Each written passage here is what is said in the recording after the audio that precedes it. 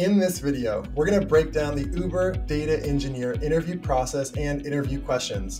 The TLDR can't miss points about Uber. They have a unique culture screen. You need to show them that you are driven and competitive. If you are more senior, they will focus more on real time processing. If you are more junior, they will focus on batch processing. And number three, Uber wants, like all other companies, to hear about your business impact. But at Uber, it's more of a red flag if you aren't talking about the business impact of your past projects when you talk about the work that you've done. Okay. So you know that Uber has created a real time global platform.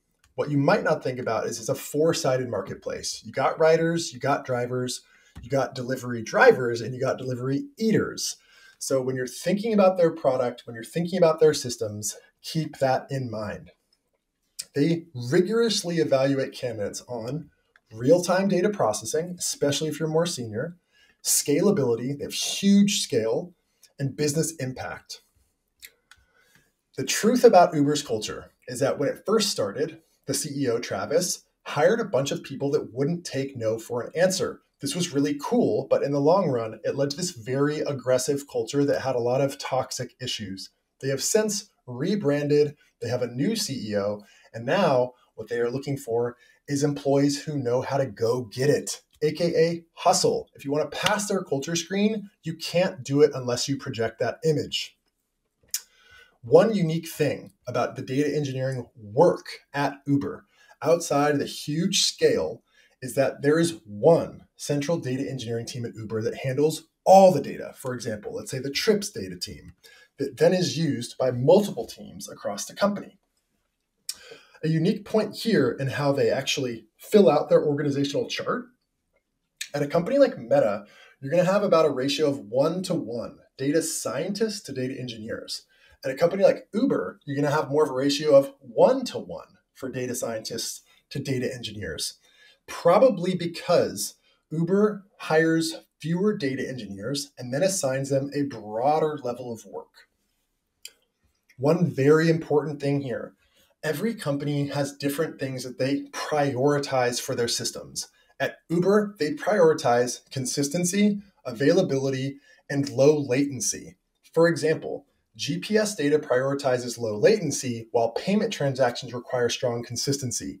When you're talking about your past project, highlight decisions that you made considering those same trade offs to speak their language.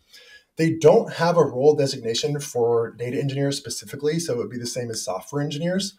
So you can find the corresponding levels in their org chart and the average compensation packages here. Uber does one thing that's kind of interesting in that not all candidates will be given the same vesting schedule for their stock. They might just offer a typical equally spread vesting schedule, but you can easily get, and sometimes they will actually offer you without you having to ask, a front loaded vesting schedule, meaning you only need to work there shorter to get access to more of their stock. Optimization strategies for SQL are going to be key here. Um, their interview process is going to run through typically three different rounds recruiter screen, tech screen, and final round.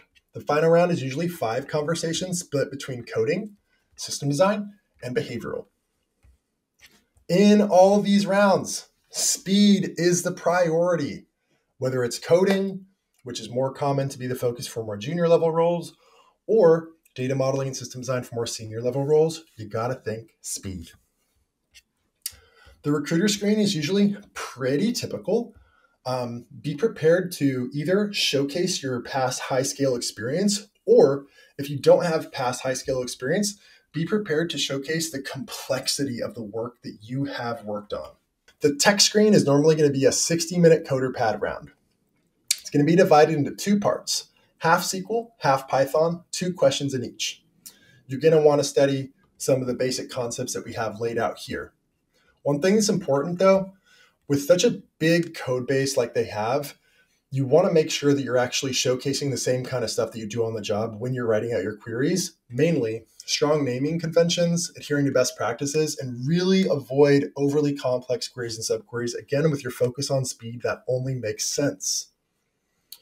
One really cool thing about interviewing at Uber is that you have a bunch more access to good data about how they do their data engineering. They have a really great engineering blog. They're always posting retrospectives on important moves that they made in their technical infrastructure, such as transitioning from DynamoDB to Ledger Store. They kind of push the industry forward, publishing these highly technical blogs, talking about the challenges that they faced when encountering these massive moves. So check out their engineering blog. You will not be disappointed. Again, finding that solution fast is way more important than the perfect solution. Okay, so these tech screen rounds that we had earlier are going to be pretty similar to the coding rounds that you'll see at the onsite. There's going to be probably up to three coding rounds for like level four or entry level roles, and then like one or two coding rounds if you're L5 or above. So either way, regardless of your seniority, the coding rounds are going to assess you on these five factors real time data processing, distributed systems, concurrency, memory optimization, and performance critical code.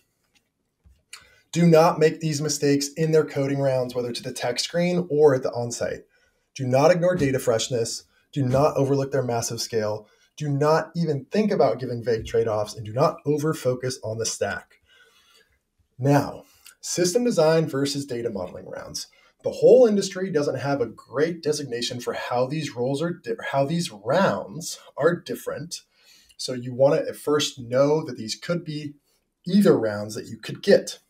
L5 candidates and above are going to have more of these rounds. L4 and below candidates are going to have less. And again, higher level candidates are going to be grilled on real time. Lower level candidates are going to be grilled on batch processing.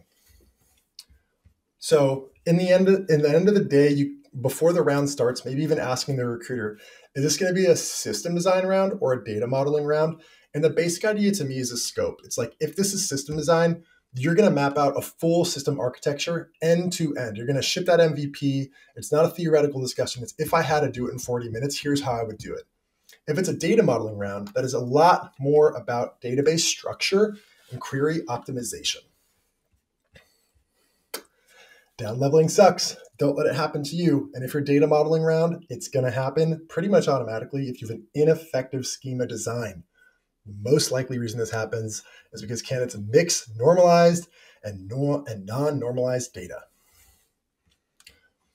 Because they have that really open philosophy for their engineering blog, they tend to have a bunch of documentation about the stuff that they use. So you can actually read up on the stuff that they use and if you've never used it before, can mention a little bit. But if you actually have experience with these technologies listed here, you can actually lean into that in the system design or data modeling rounds and really flex those muscles. The behavioral round. So again, if you really make this simple, Uber is more like Amazon than they are like Microsoft. Microsoft might have a particular culture, but they don't have a particular culture screen. Amazon, on the other hand, does. Uber, on the other hand, does. And the particular culture screen they have at the end of the day is really about finding competitive and driven candidates. Go getting hustler. It's all revolving around the same thing. The way that I would think about it is like this. By the end of my behavioral round, my interviewer will remember one thing about me, and they will remember that I am driven. So, if you want to ace the Uber data engineering interview rounds, check out our data engineering prep course. We go over system design, data modeling, coding, SQL, and behavioral. You can try it all for free at tryexponent.com.